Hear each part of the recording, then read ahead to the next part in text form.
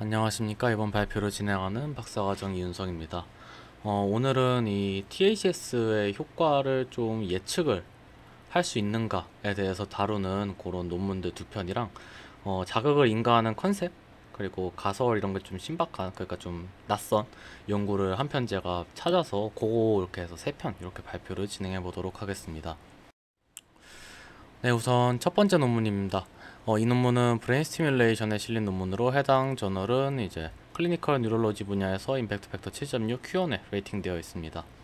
어, 이 논문의 intro를 정말 짧게 좀 간략히 말씀드리면은 우선 이 tACS의 효과가 좀 일관되어 있지 않고 이러한 원인으로 어떤 뭐 신경 해부학적 그리고 신경 생리학적 이런 개인적인 개인들의 다양성 때문이다라고 이제 제안이 되고 있는데 어, 이거에 대한 좀 직접적인 증거들은 아직 확인되지 않은 상태라고 합니다.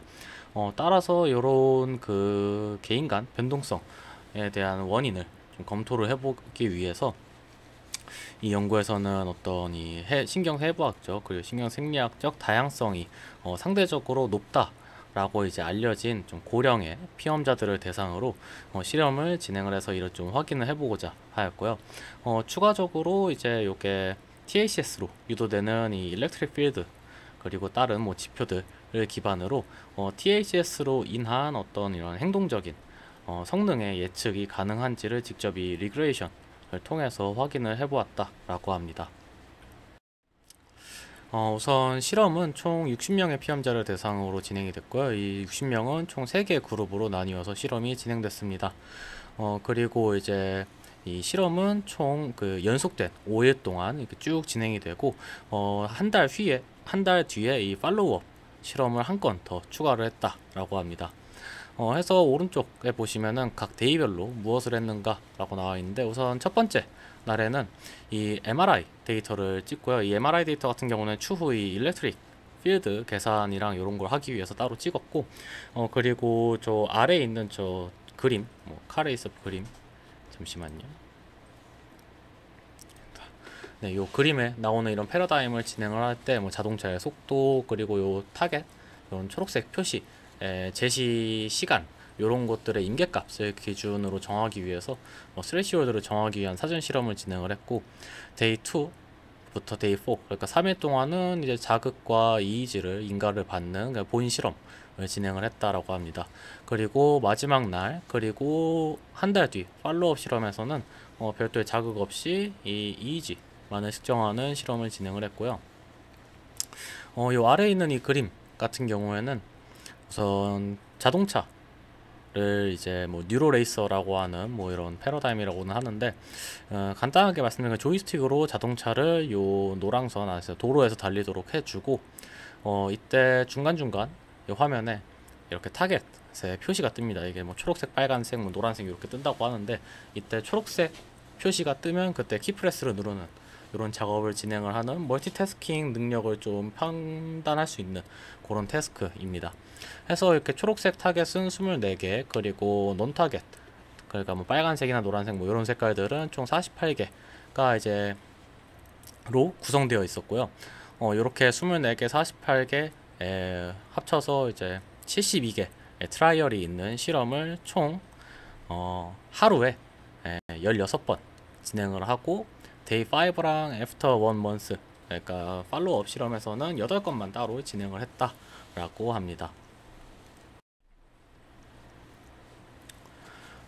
그래서 자극 파라미터 같은 경우에는 어, 세타 THS 그리고 컨트롤이라고 불리는 tACS 그리고 sham 조건 이렇게 있는데요. 컨트롤 조건이 이제 1Hz 자극을 주는 조건입니다.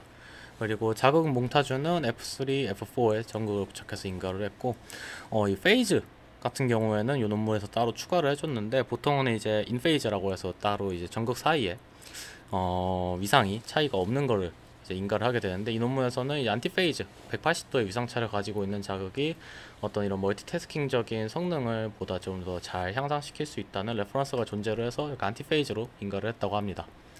자극 세기는 1mA였고 이제 자극 기간은 이제 24분이 24분 동안 total 24분 동안 인가를 받았다라고 합니다. 그리고 측정된 데이터에 대한 전처리 방법은 우선 31개의 전극으로 측정된 뇌파 데이터에 대해서 어, bandpass filtering을 걸어주고요. 요 타겟이 나오는 시점 기준 마이너스 1초부터 2초 간격으로 epoch을 해준 다음 다음에 어, 이 전체 데이터 중에 뭐 two standard 이상의 뭐 값이 존재하는 채널은 따로 날려주고 어, 플러스 마이너스 500 마이크로볼트 이상의 값을 가지는 epoch은 제외를 해줬다라고 합니다. 어, 추가로 이렇게 한번 걸러주고 ICA를 해준 다음에 다시 한번 어, 75 마이크로볼트를 기준으로 다시 한번 이 어, thresholding을 해주는데요. 어, 여기서 용어가 epoch에서 trial로 이제 본문에 바뀌어 있는데 제가 볼 때는 그냥 똑같은 기준인데 그냥 용어만 좀 바뀐 걸로 저는 파악을 했습니다. 그래서 그냥 뭐 요거는 신경 쓰지 마시고 그냥 thresholding 해줬다 라고 해주시면 될 것 같고요.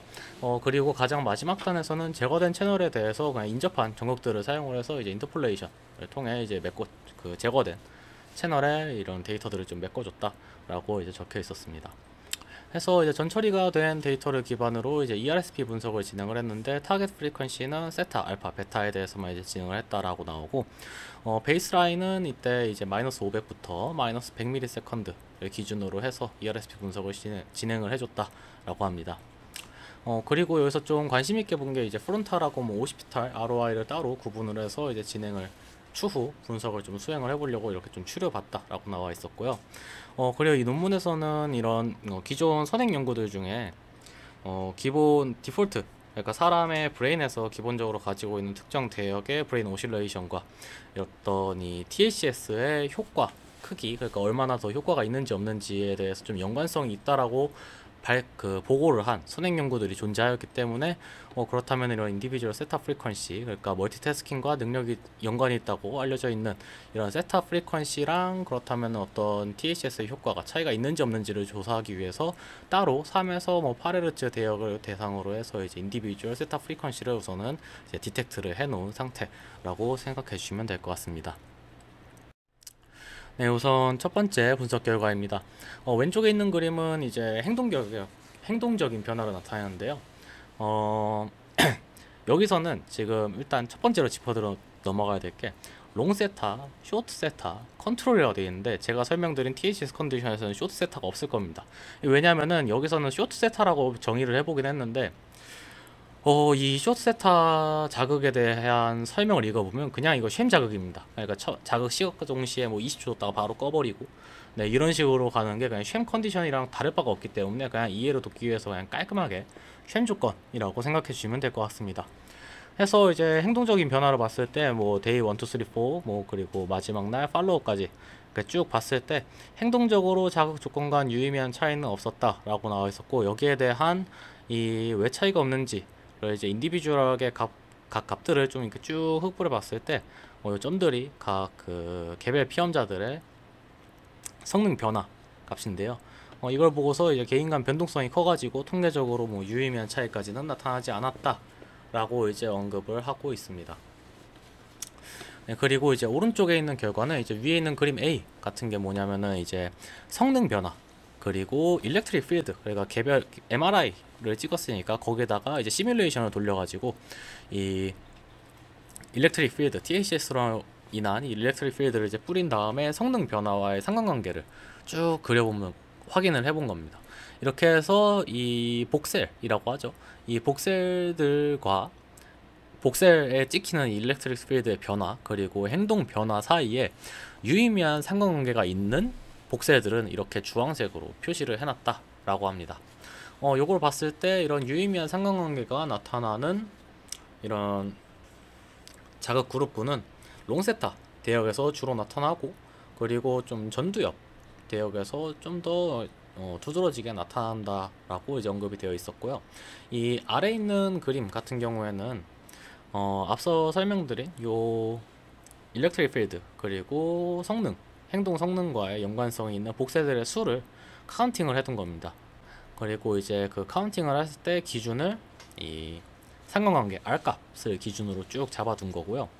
어, 여기 있는 그냥 uncorrected라고 하는 거는 그냥 저희가 쉽게 생각하는 그냥 correlation 구해가지고 쭉 뿌려봤을 때, 어, 요런 식으로 뭐, 어, 0.4를 뭐 기준으로, 어, 아, 네, 마이너스 0.8부터 뭐 8까지 이게 골고루 뭐 자극 조건에 구분 없이 그래도 어느 정도 유의미한 상관관계가 나타나는 이런 voxel들이 존재한다는 걸 확인할 수 있었고 어, 여기서 조금 더 포커스를 맞춰서 봐야 될 점이 오른쪽에 있는 cluster corrected라는 결과입니다.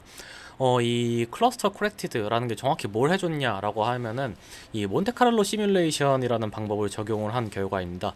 이 몬테카를로 시뮬레이션이라는 것 자체가 어, 되게 다수의 반복 학습을 할 때 이런 반복 비교 이런 걸 할 때 어, 무작위 입력에 대한 모델 반응을 계산을 하기 위한 별도의 시뮬레이션적인 이 좀 계산 기법 이라고 하는데요. 그러니까 이게 결국은 시뮬레이션 기반의 electric field를 기반으로 이 데이터 를 만드는 거기 때문에 이 clustering이 된 이 결과가 조금 더 어, 정제된 데이터라고 좀 생각을 해주시면 될 것 같고 어, 요걸 봤을 때 이 세타 자극을 에 대해서만 어, 조금 더 어, 좀 눈에 띄게 많은 voxel들에서 성능과 유의미한 양의 상관관계가 있다라는 것을 좀 확인을 할 수가 있었습니다.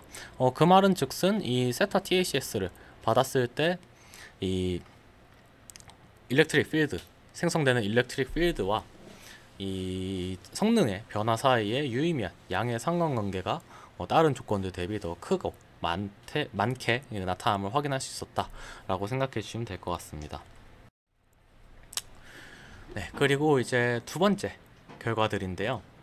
어, 그러면은 이제 요 결과에서는 아까 그 electric field 관련된 언급을 했을 때 좀 전두엽 영역에서 뭔가 좀더 어, 유의미한 복세들이 많다 보니까 그럼 전두엽 대상으로만 해서 상관관계를 다시 확인해 보자 라고 해서 진행된 분석이 요 왼쪽 상단에 있는 요 그림입니다. 네. 요걸 봤을 때 어, 이게 롱세타 대역에서만 좀 그런 경향이 나타났다 보니까 요 그림은 이제 롱세타 어, 컨디션 그 조건에 대해서만 따로 진행이 된 문서이고요. 어, 요걸 봤을 때 어, 자극 3일차 그러니까 day로 치면 day 4죠. day 4, day 5, 한 달 뒤. 이렇게 쭉 봤을 때 모든 이 day들에서 electric field랑 요 D prime 그러니까 성능적인 변화 사이에 양의 유의미한 양의 상관관계가 있는 것을 확인을 할 수 있었다라고 언급이 되어 있었습니다. 어 그리고 여기서 이제 따로 예, 그림은 없는데요. 추가적으로 좀 분석을 한 게 있는데 이 그룹 간 electric field의 차이가 있는지 없는지를 좀 확인을 해봐야 과연 이 THS의 이런 뭐 상관관계나 이런 게 실제 개인의 어떤 뭐 해부학적인 뭐 차이에 의한 뭐 전기적 일렉트릭 필드의 어떤 차이나 이런 것들이 나타나는지를 좀 확인할 수 있다 보니까 요거를 확인을 해봤다고 합니다. 다만 어 그룹 간 그러니까 이런 자극 그룹들 간에 일렉트릭 필드에 대해서는 어떠한 차이도 유의미한 차이도 나타나지 않았다라는 것을 확인할 수 있었고 이거는 결국 어, 그룹에 상관없이 모든 피험자들이 자극을 맞았을 때 유사한 세기로 위, 유사한 이런 뇌 영역에 어, 일렉트릭 필드가 형성될 수 있었다라는 것을 의미를 합니다. 어, 그 말은 즉슨 심플하게 이런 특정 조건에서 유의미한 상관관계나 이런 변화가 어, 해부학 적인 뭔가 변화만으로 나타났다고 하기에는 조금 보기 어려운 어, 결과로 저는 이제 생각을 하고 있고요. 그래서 이제 두 번째로 보실 거는 이제 오른쪽에 있는 그림인데 어 이게 아까 잠시 individual theta frequency에 대해서 말씀드릴 때 언급드린 것처럼 이런 뇌의 기본적인 default적인 어 오실레이션과 THS의 효과 사이에 좀 연관관계가 있다고 보고를 한 연구들이 있어가지고 어, 연구에서는 어떤 이 individual theta frequency랑 그리고 이 성능과의 상관관계 를 좀 확인을 해보려고 했다고 합니다. 이걸 봤을 때 신기하게도 이제 long theta 어, 그 그룹에 대해서만 이런 역U자 대역의 좀 연관관계가 좀 확인이 되었고 어, 추가적으로 그러면은 이제 이 day간 이제 follow-up을 쭉 해서 이 기본 기존의 baseline의 이 individual theta frequency 대비 이 각 day에서 이 측정되는 별도의 individual theta frequency가 있을 거잖아요. 매일매일 찍게 되면은 그러면 이렇게 변동성이 있을 텐데 이 theta frequency 사이에 theta frequency랑 이제 baseline 거랑 그리고 뭐 다른 날 찍은 거랑 이렇게 해서 이 변동성 들을 이제 absolute를 취해 가지고 이렇게 첫째 날에 뭐 6Hz였으면은 뭐 둘째 날에는 뭐 1점 아 7.5 그러면 이제 1.5에 찍히는 거고요. 어쨌든 이런 식으로 이제 변동성과 그리고 성능 간의 이제 차이에 대해서 쭉 확인을 해봤을 때 이 long theta 그룹에 대해서만 유의미한 음의 상관관계가 확인이 되었다라고 합니다. 어, 이 말은 즉슨 이런 baseline 대비 어, 이 individual theta frequency의 변동성이 적으면 적을수록 조금 변하면 조금 변할수록 성능이 더 크게 향상이 된다라는 것을 의미를 합니다. 어, 요것과 더불어서 이제 좀 앞선 그 뭐 일렉트릭 필드 뭐 복세 관련된 결과를 봤을 때 어, 거기에서도 좀 특이하다고 여기서 또 따로 본문에서 어, 특이하게 좀 강조를 한 점이 있었는데 어, 그게 뭐였냐면은 어떤 이 복셀 그러니까 유의미한 상관관계를 가지는 복셀 수가 많은 가장 많은 피험자가 어, 이 성능적인 변화도 향상도 가장 컸다라는 걸 좀 따로 좀 언급을 하고 있었고요. 그래서 뭐 이렇게 해서 뭐 상관관계 분석은 이걸로 됐고 어 그러면은 과연 이런 electric field랑 뭐 이런 individual theta frequency의 변동성들을 기준으로 과연 이 성능적인 행동적인 변화를 좀 설명을 할 수 있는가 예측을 할 수 있는가를 확인하기 위해서 이제 regression을 진행을 해봤을 때 어, long theta 어, 그룹에 대해서는 어, day 3 그리고 뭐 그리고 day 4 day 4라고 하면 되는 어, 아까 설명드린 것대로 하면 뭐 이제 day 4, 5 그리고 한 달 뒤 뭐 이런 식으로 진행되는 요 데이터들에 대한 그 성능적인 예측이 뭐 한 54% 정도 혹은 54% 정도에서 뭐 한 64% 정도까지는 그래도 어느 정도 좀 설명이 된다. 어, 그리고 다른 조건들에서는 이만치 나오지 않는다. 해서 이제 특정 조건에 대해서는 이렇게 성능 예측이 가능하다라고 이제 언급을 하고 있었고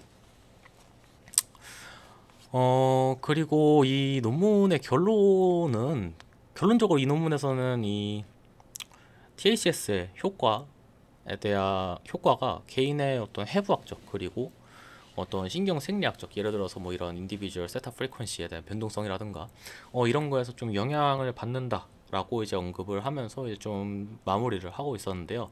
어 이제 뒤에 criticism에서 따로 말씀드릴 건데 이게 해부학적인 차이까지 영향을 준다고 하기에는 조금 부족한 결과지 않을까라고 저는 일단 생각은 하고 있습니다.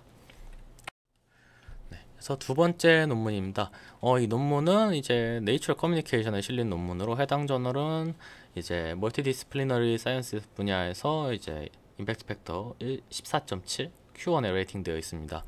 어, 이 논문의 컨셉은 앞서 설명드린 그 intro part랑 매우 좀 유사를 해가지고 어, 따로 뭐 detail한 설명은 조금 빼고 조금 다른 점, 차이점을 먼저 말씀드리면은 어, 이 논문도 결국은 똑같이 뭐 신경생리학적 뭐 아니면 해부학적 이런 게 뭐 tACS의 성능에 영향을 미친다고 알려져 있는데 그거에 대한 뭐 관련 연구는 드물다. 어, 그래서 우리가 이런 해부학 신경 해부학 기반의 뭐 tACS의 전기장을 뭐 시뮬레이션을 하고 MEG 기반의 뭐 소스 분석 기반의 이 brain activity를 통합을 해서 tACS의 효과와 알파 대역의 어떤 성능적인 변화를 좀 예측을 해보고자 한다라는 게 이 논문의 주요 컨셉이었습니다. 네, 실험은 총 40명의 피험자를 대상으로 진행이 되었고 40명의 피험자는 이제 두 그룹으로 나뉘어서 실험이 쭉 진행됐습니다. 어, 실험 프로토콜 같은 경우에는 resting state 오른쪽 그림과 같이 resting state를 기반으로 자극 전후에 측정이 되었고요. 어, 그리고 이 논문 같은 경우에는 조금 특이하게 어, 실험을 총 이제 두 가지 이 컨셉이라기보다는 두 건을 진행을 했다고 봐야 될 것 같습니다. 우선 첫 번째, 요 40명의 피험자를 대상으로 뭐 데이터를 측정을 하고 뭐 이렇게 해서 모델을 만들어서 모델의 성능을 먼저 확인을 하고 이 두 번째 실험을 통해 측정을 하는 19명 피험자들을 대상으로 해서 이런 모델에 대한 성능을 재검증을 하는 이런 시퀀스를 가졌고요. 그래서 이제 두 번째 실험에 대한 피험자는 총 19명 그리고 이 피험자들은 어, 총 최소 4일의 인터벌을 가지고 이제 실험을 진행을 했습니다. 어, 해서 이제 두 번의 실험을 한 거죠. 그러니까 요 앞에 실험 같은 경우에는 어, 그룹을 나눠서 한 번씩만 자극 인가받은 걸로 보시면 되고 두 번째 실험에서는 한 피험자가 뭐 쉐임도 맞아보고 THS도 맞아보는 어, 이런 식으로 실험 설계가 조금 다르되 어쨌든 맥락 자체는 같은 실험을 이렇게 진행을 했다라고 보시면 될 것 같습니다. 어, 그리고 MEG 데이터를 측정을 했는데요. 이 연구에서는 이 MEG는 이제 측정된 MEG는 이제 band pass filtering 1에서 40Hz 걸어주고 이제 2 second 기준으로 이제 데이터를 epoch을 한 다음에 어 이제 FFT 를 적용을 해서 individual alpha frequency를 찾고 요걸로 자극을 인가했다라고 합니다. 어 그리고 요거는 이제 요 앞에 이 IAF 측정 구간에서 이루어진 전처리고 어 그 이후에는 뭐요 투 세컨드 F까지 모두 동일하고요. 어 그 다음에 이제 본 분석에서는 뭐 ICA를 진행을 하고 FFT를 적용을 해서 IAF 플러스 마이너스 2Hz 대역에 대한 이런 주파수 파워를 계산을 했다라고 합니다. 어, TACS 파라미터 같은 경우에는 TACS 조건, sham 조건 이게 두 조건이었고 어, 자극 전극의 위치는 OZ, CZ 이렇게 부착을 했고 자극 주파수는 IF, 자극 세기는 1mA, 자극은 총 20분 동안 인가되었다라고 합니다. 어 그리고 요 종종 있는 일인데 요 논문에서는 자극을 인가를 함에 있어서 이 피험자가 자극을 맞는 20분 동안 어안 졸고 과연 뭐 좀 딴짓을 하지 않고 그래서 집중을 해서 좀 자극을 좀 이렇게 순순히 받아들였는지를 확인하기 위해서 자극이 진행되는 20분 동안 이 비길런스 테스크라는 것을 진행을 시켰다라고 하는데 어 이게 정말 심플한 실험인데요. 그게 뭐냐면은 약간 빗금 같은 것들을 어 각도를 조금씩 틀어줍니다. 그래서 각도가 바뀔 때마다 그냥 버튼만 누르면 되는. 그래서 정말 아 얘가 화면을 보고 있구나 정도만 지속적으로 체크를 할 수 있는 태스크를 이제 진행을 시켰다라고 합니다. 네, 그럼 첫 번째 결과입니다. 우선 이 왼쪽에 있는 결과는 정말 심플하게 이런 TACS랑 쉐임 조건 대비 이런 유의미한 차이가 나타나는 뭐 뇌파의 패턴 변화를 나타내고 있고요. 어, 요걸 봤을 때 이런 TACS 조건에서 쉐임 조건 대비 이제 통계적으로 유의미한 이런 뇌 영역에서 이렇게 다양한 넓은 영역에서 통계적 유의미한 알파 대역의 주파수 파워의 향상이 확인되었다. 라고 보시면 되고요. 어, 요거는 그냥 individual 값을 이렇게 찍어준 거고, 어, 요걸로 봤을 때, 요 오른쪽에 있는 그림들로 봤을 때도 뭐 sham, sham 조건 같은 경우에는 이런 baseline 대비 post sham 조건에서의 뭐 통, 이런 주파수 파워의 어, 증가 폭이 크지는 않지만 이제 TACS 조건에서는 그렇지 않았다, 매우 크게 나타났다 라고 고 이제 확인을 할 수가 있었습니다. 어 그리고 이제 오른쪽 그림 같은 경우에는 TACS 그리고 sham 조건이 이제 baseline 대비 어떻게 변화했는가를 나타내는 결과인데요. 어 우선 요 TACS 같은 경우는 베이스라인 대비 전반적인 뇌 영역에서 어 이런 유의미한 IF 플러스 마이너스 2Hz 대역의 주파수 파워가 향상되는 것을 확인할 수 있었고 어 그리고 이제 시험 조건 같은 경우에는 일부 뇌 영역에서 이렇게 음, 유의미한 어, 주파수 파워의 증가가 나타나기는 하지만 이런 THS 대비 그렇게 드라마틱한 변화는 있지 않았다라는 것을 확인을 하였다라고 합니다. 어 그리고 이 오른쪽에 있는 지표 들 같은 경우에는 요 3차원으로 표시된 건 조금 보기가 어려워서 이제 오른쪽에 있는 걸로 보시면 편할 텐데요. 어 각자 뭐냐면 이제 미스매치라는 게 있는데 이 미스매치 같은 경우에는 자극 주파수 그리고 베이스라인의 IF 사이의 차이를 나타냅니다. 그래서 이런 차이점이랑 그리고 이제 주파수 파워의 변화량 같은 것을 이제 표로 쭉 그려놓은 거고요. 어 그리고 spatial correlation이 뭐냐 하면은 요거 같은 경우에는 이제 알파 파워의 baseline에서의 알파 파워의 변화 그리고 이제 개인별로 시뮬레이션 된 TACS의 자기장 사이의 상관관계를 나타냅니다. 그래서 이런 지표가 이렇게 있고 어 그리고 이제 electric field 같은 경우에는 정말 심플하게 electric field랑 데이터 파워를 이제 한 표의 그림을 표현을 한 거고요. 어, 요게 TACS 조건, 쉔 조건인데 어, 두 조건 간의 이런 분포 차이가 조금씩은 있는 것을 확인을 할 수가 있었습니다. 어, 그리고 어, 요걸 보여주는 이유가 저기서 이 결과 C부터 E 그리고 H부터 J까지 해서 뭐 요런 분포들이 어떤 의미를 가지고 있는지에 대해서는 분포 차이가 무슨 의미를 가지고 있다라고 말을 해주진 않았고 어, 여기서는 어쨌다 어쨌든 이 성능을 예측하는 게 목적이다 보니까 요 미스매치 그리고 spatial correl, correlation 그리고 electric field 이렇게 세 개의 지표 그리고 거기에다가 이 sham 대비 TACS 조건 간의 이런 차이 알파 대역의 차이를 가지고 baseline의 차이 네, 이 차이를 가지고 이 TACS의 효과가 있을지 없을지 그러니까 알파 대역의 주파수 파워의 향상이 있을지 없을지를 이제 예측을 하는 이 regression을 돌렸다고 합니다. 어, 따로 이제 뭐 본문에 표나 이런 건 없었고요. 어, 요것들을 봤을 때 이런 지표들을 가지고 성능을 예측했을 때 어, 유의미하게 한 74% 가량 이런 성능을 예측을 할 수 있었다. 라고 합니다.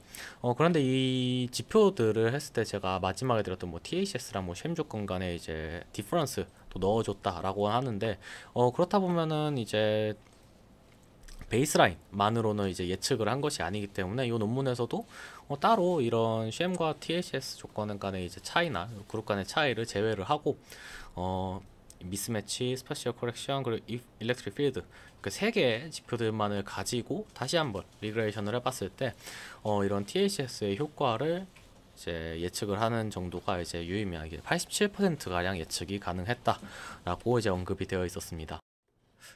네. 그래서 이제 이 논문에서 한 가지 의문점을 제기를 했는데 어, 자기들이 생각을 해도 이 앞서 말씀드린 그 87% 정도를 이제 설명을 할 수 있다라는 이 regression에 대한 결과가 어, 너무 높다라고 생각을 했다고 합니다. 어, 그래서 어, 기존에 있었던 방법 말고 그냥 어, 단순한 regression 말고 이 leave one out cross validation 방법을 적용을 해서 이 추가적으로 이 성능적인 예측 그러니까 regression을 다시 해봤다라고 하는데요. 어, 그렇게 해봤을 때도 여전히 어, 절반 이상의 이런 TACS의 효과 여부를 좀 이제 예측을 할 수 있었고 어 그리고 여기에서 본문에서 언급하길 이 TACS 조건 같은 경우에는 두 명의 좀 아웃라이어로 보이는 그러니까 다른 사람들 대비 이런 주파수 파워의 변화가 폭이 좀 많이 큰 두 명의 피험자가 포함되어 있었음에도 불구하고 절반 이상의 이런 예측이 가능했고 이 두 명 또한 이렇게 뭐 점으로 따로 이렇게 찍힌 이런 피험자 또한 이제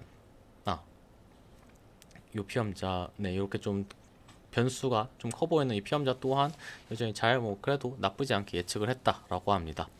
어 그리고 추가적으로 여기 이 논문에서는 이 두 명의 이 모델을 학습을 시킬 때 있어서 이 두 명의 피험자를 제외하고서 학습을 한 다음에 이 두 명의 피험자를 한번 예측해 봐라 라고 했을 때에도 이 두 명의 피험자가 다른 피험자들 대비 보다 좀 더 높은 이런 알파 대역의 주파수 파워 향상을 가질 것이라고 이제 모델을 예측해내는 것을 확인할 수 있었다라고 이제 언급을 하였습니다. 어 그리고 이제 이 오른쪽에 있는 결과는 제가 앞서 메서드적인 측면을 할, 이제 언급을 드릴 때 두 번째 실험을 했다고 했잖아요. 그래서 요거는 이제 두 번째 실험, 그러니까 19명 데이터에 대한 결과인데요.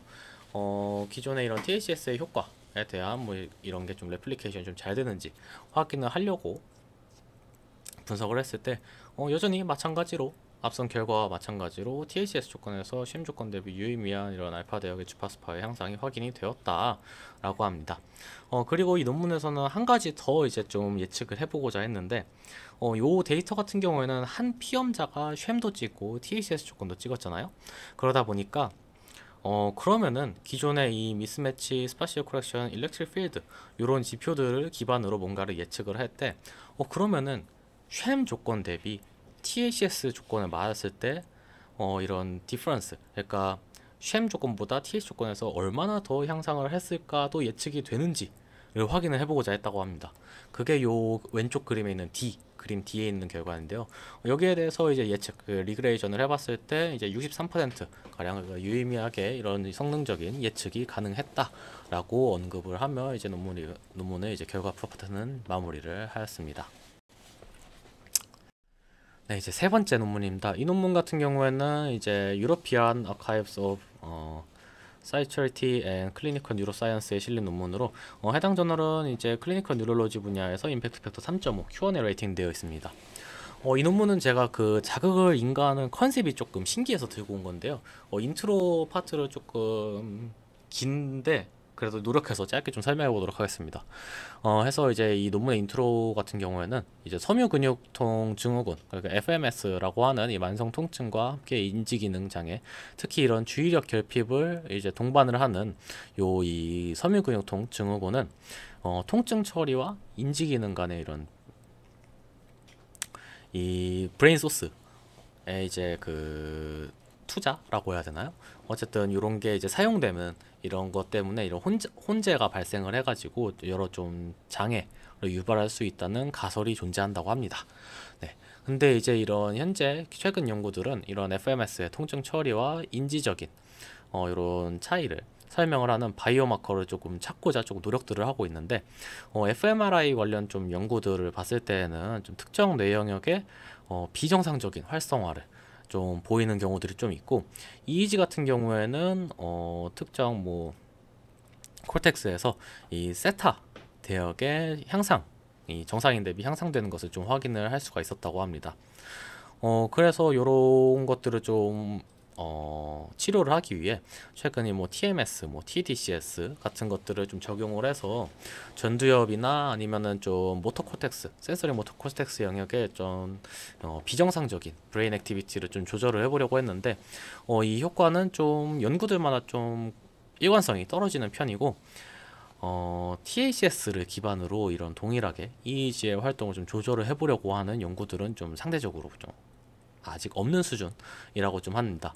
어, 그래서 이제 이 tACS라는 것 자체가 어떤 교류 전류를 사용해서 brain의 특정 뭐 frequency 대역을 좀 modulation 할 수 있다고 알려져 있다 보니까 이 논문에서는 어떤 이런 통증적인 그리고 혹은 좀 인지적인 기능의 좀 완화를 시킬 수 있는 방법으로서 이제 THS로 선택을 해서 이제 이를 검증하기 위한 실험을 진행을 하였다라고 합니다.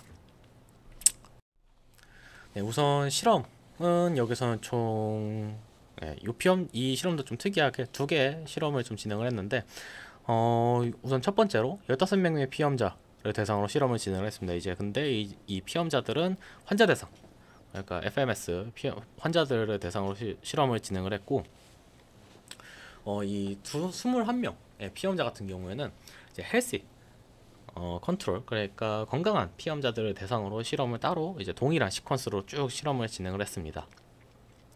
어 이제 동일한 그러니까 정상인 대상으로 실험을 진행한 이유는 뒤에 method 설명하면서 조금 설명을 드리도록 하고요.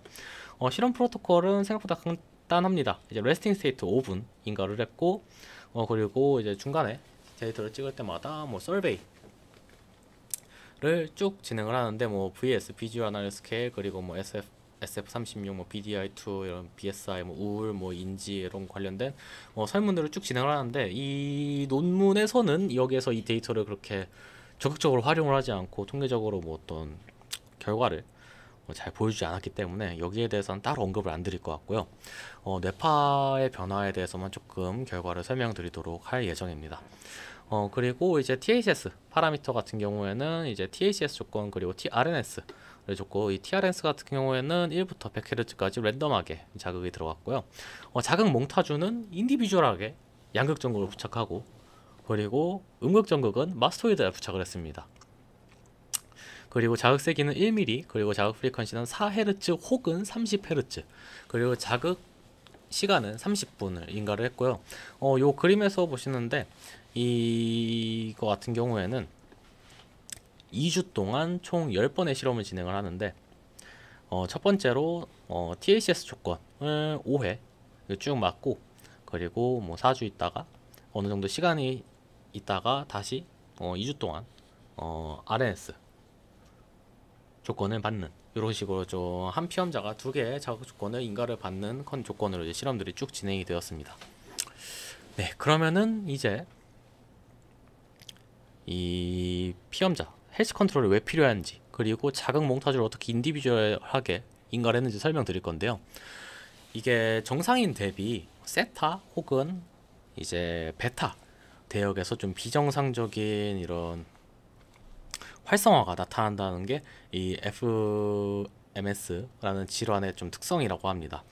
어 근데 어, 이 논문에서는 각 환자 개인마다 어, 정상인 그러니까 21명의 이제 데이터들이랑 이 환자 한 명의 데이터를 비교해 가지고 가장 많은 주파수 파워의 차이가 나타나는 뇌 영역 플러스 가장 많은 주파수 파워의 차이가 나타나는 주파수 대역을 찾아냅니다. 한 피험자마다.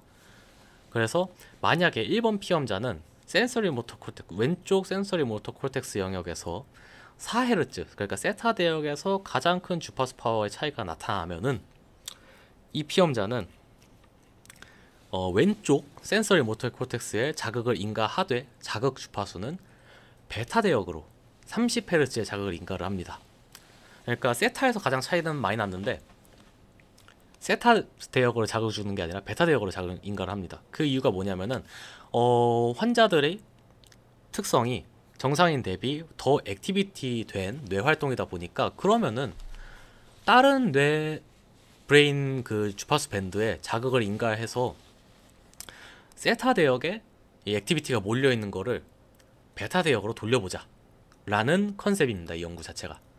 그러니까 쉽게 말하면은 어 세타에서 activity가 과하니 이거를 tACS로 베타 대역의 activity를 좀 북돋아 주면 세타에 좀 쏠릴 이런 brain resource가 베타로 돌아가고 그러면은 자연히 이런 과하게 활성화된 세타 대역의 주파수 파워가 감소하지 않을까. 그러면은 어떤 정상인과 조금 더 symptom적으로 좀 유사해지지 않을까. 좀 치료 완화 효과가 있지 않을까라는 concept이 이 논문의 자극 concept입니다. 네, 좀 복잡하기는 한데 어쨌든 직접적으로 문제가 있는 주파수 대역이 아닌 그 외의 주파수를 로 자극을 인가하는 concept이 이 논문의 concept이죠. 네, 그래서 이제 data analysis 같은 경우에는 resting state 5분 데이터를 가지고 32채널로 측정을 하고 어, 심플합니다. band pass filtering 걸어주고 이제 2초 간격으로 epoch 해준 다음에 이제 FFT 걸어가지고 주파수 분석을 해서 뭐 뇌파 패턴의 변화를 확인을 하는 어, 그런 연구였습니다. 네, 이 아래의 결과는 이 각 그룹별 그러니까 자극 위치에 따라서 그리고 이제 그 각 요 지금 보시면은 뭐 tACS, tRNS 그러니까 어 위치에 따라서만 구분을 하고 이 자극 그룹이라기보다는 이제 자극 순서는 한 번에 뭉개서 표현이 된 그림이고요. 어 여기에 따른 이런 low alpha 대역에 대한 주파수 파워를 나타낸다고 합니다. 어 뭐 다른 주파수 대역에 대한 결과는 따로 언급 그러니까 유의미한 차이가 나타나지 않아서 따로 이렇게 표로 어, 표시가 안 된 걸로 확인이 됐고요. 어, 이걸 봤을 때 이제 low alpha 같은 경우에는 이 motor area 양측 motor area를 기준으로 봤을 때 T1 시점 그러니까 약 5회 가량의 이런 실험이 진행 자극이 들어간 이후 tRNS 시점 대비 어, tACS 조건에서 통계적으로 뭐 유의미한 주파수 파워의 증가가 있었다. 라고 언급이 되어 있었고요. 어, 그리고 이 tACS 조건에 대해서만 이 visual analog scale, 그러니까 통증에 대한 visual analog scale이 어, tACS 조건에서만 유의미하게 이 감소를 했다라고 이제 언급이 되어 있었습니다. 어, 해서 이 논문에서는 이 결과를 가지고 어, 통증 tACS가 어, 통증 조절을 뭐 할 수 있고 어, 그리고 본인들의 가설대로 어, 뭐 베타 뭐 세타 대역을 좀 과하게 활성화되어 있었던 거를 suppression 시키고 어 다른 주파수 대역의 주파수 파워가 좀 향상되는 것을 확인할 수 있었다. 다만 어 우리가 의도했던 거는 베타 tACS 조건을 이제 인가를 했을 때 이런 효과가 나타나는 건데 이 베타 tACS를 인가를 했을 때 어 본인들의 의도대로 베타가 아니라 이 low alpha 대역에서 유의미한 주파수 파워의 증가가 나타나는 것을 좀 확인을 할 수 있었다. 어, 그래도 뭐 따로 조, 이 세타 대역은 뭐 조절을 해서 뭐 다른 주파수 대역을 향상시킬 수 있었다. 조절할 수 있었다. 뭐 이렇게 언급이 되어 있는 것을 확인을 할 수 있었습니다. 어, 이거에 대해서는 이제 뒤에 좀 아쉬웠던 점이나 의문점에 대해서 좀 설명을 하면서 함께 좀 말씀을 드려보도록 하겠습니다. 이 결과에 대해서는. 네, 그러면은 이 논문을 보면서 좀 아쉬웠던 점, 그리고 좀 드는 생각들을 좀 정리를 해보겠습니다. 우선 첫 번째 논문에서 좀 이 결과를 정리하면서 아쉬웠던 점은 어, 이 논문에서 뭐 신경 해부학적 그리고 신경 생리학적 뭐 개인 차가 뭐 THS 효과에 영향을 미친다라고 결국은 결론을 내렸었는데 본문에서 어, 어떤 신경 해부학적인 차이가 THS 효과에 영향을 준다고 언급을 하기 위해서는 이 자극 조건에 따른 이런 일렉트릭 필드의 좀 차이가 확인이 되었어야 한다고 저는 생각을 하는데 해당 연구에서는 논문에서는 오히려 차이가 없었다고 나타나 그 언급이 되어 있었습니다. 어, 다만 이 연구에서는 뭐 신경 해부학적인 뭐 차이가 뭐 TSS 효과를 뭐 TSS 효과에 영향을 미친다라고 하는 이 근거로 어, 일부 한 명의 피험자에서 어떤 피험자들에게서 이 행동적인 변화 그리고 일렉트릭 필드 사이의 유의미한 상관관계가 가장 많이 나타나는 피험자가 어, 이런 TACS에 의한 성능 변화 또한 가장 크다라는 것만을 근거로 어, 이런 뉴로 아나토미컬한 개인 차가 TACS 효과에 영향을 준다라고 이제 좀 언급을 어, 하는 걸로 제가 확인을 해서 어, 요것만 가지고 이런 electric field 그러니까 neuroanatomical한 이런 electric field의 형성 과 같은 이런 게 이 tACS 효과에 영향을 준다고 좀 주장을 하기에는 좀 부족하지 않나 라는 생각을 좀 하게 됐고요.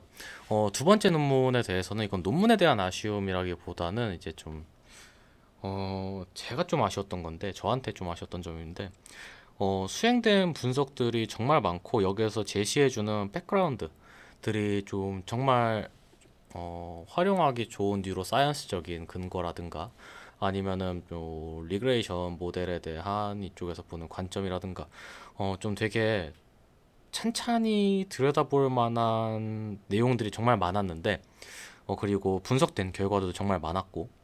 근데 이제 대부분의 좀 결과들이 보충 자료에 넣어놔서 제가 이 저널 미팅을 준비를 하면서 어, 이것들을 모두 다 꺼내서 설명을 하게 되면 이제 영상 자체 길이를 도저히 한 시간 안으로 끊을 수 없을 것 같아가지고 일단 제외를 하고 영상을 준비를 하게 됐는데 어, 기회가 된다면은 제가 봤을 때 이거는 그냥 진짜 이 논문 한 편만 두고 백그라운드부터 어, 이 논문의 서플리멘터리 그러니까 보충 자료에 있는 결과들까지 다 끄집어내 가지고 이 논문에서 제안하는 플로우대로 아, 이 그 결과는 이랬고 이래서 이런 백그라운드에 따라서 이런 결과들을 다시 한번 분석을 했고 어, 이런 분석을 함에 있어서 뭐 어떤 기법을 사용을 했고 뭐 이런 것들까지 정말 좀 제대로 차근차근 좀 긴 시간이 들더라도 정리를 해볼 수 있는 어, 가치가 그 해볼 수 있는 기회가 된다면 이렇게 좀 시도를 해볼 만한 어, 가치가 있는 논문으로 좀 해서 보여서 이거는 제가 좀 이게 저한테 이걸 좀 제한된 시간 안에 이것들을 조금 깔끔하게 정리를 하지 못한 저의 능력적인 부분에 조금 아쉬웠고요. 어, 그리고 마지막 연구에 대해서는 이 세타 프리퀀시 파워에 대한 좀 의문점, 그러니까 이 연구에서 주장하는 결론에 대한 근본적인 의문점이 들었는데, 어, 이 뇌파 정리, 우선 뇌파에 대한 결과를 정리함에 있어서 어, 자극 주파수마다의 결과를 따로 언급을 하지 않습니다.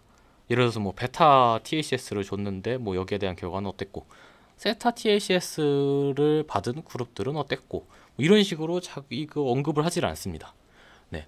그게 가장 중요한 포인트였고 두 번째로 이 논문에서는 결국 뭐 베타 THS를 맞췄을 때 이 뭐 theta frequency power가 뭐 감소를 했고 대신 뭐 low alpha power가 뭐 tRNS 대비 유의미하게 증가했다라고 언급을 하는데 어 세타 tACS 아 세타 파워 가 정말 자극 tACS 이후 유의미하게 감소했는지 언급이 전혀 없습니다. 1도 없고 결과에 대한 그림도 없고 보충 자료도 없고 그리고 결론적으로 좀 더 중요한 거는 그렇다면 이 tACS 그러니까 알파 low alpha 대역에서 파워의 이런 유의미한 증가가 그러면 본인들이 주장을 하는 세타 THS의 감소랑 과연 상관관계가 있는지에 대한 결과까지 제시를 해줬어야 이 본인들의 주장을 좀 어, 빈틈없이 라고 해야 될까요? 어쨌든 이 본인들의 주장을 함에 있어서 약간 최소한의 근거가 되지 않을까라는 생각이 들어서 이거는 정말 뇌파 관련된 결과들에 대한 좀 부족이 좀 심하게 다가왔다. 그러니까 뇌파 결과가 좀 부실하 정말 많이 좀 부실했다라고 좀 생각이 들었습니다. 네, 그러면 이것으로 발표를 이번 발표를 마치도록 하겠습니다. 감사합니다.